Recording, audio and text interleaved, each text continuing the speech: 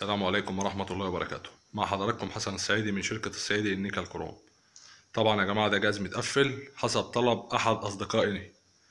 ده يا جماعة ال- المسدس المتعلق ده اللي هو المسدس الأمريكي. الزبون طالبه وطالب ال- المسدس بتاعي برضو اللي أنا بعمله.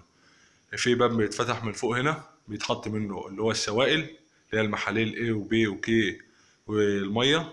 والباب اللي تحت ده يعني زي نظام آه، غرفة لوضع المواد الكيميائية فيه وموجود في وحدة تقطير متنقلة. هو ده يا جماعة الجهاز بتاعنا.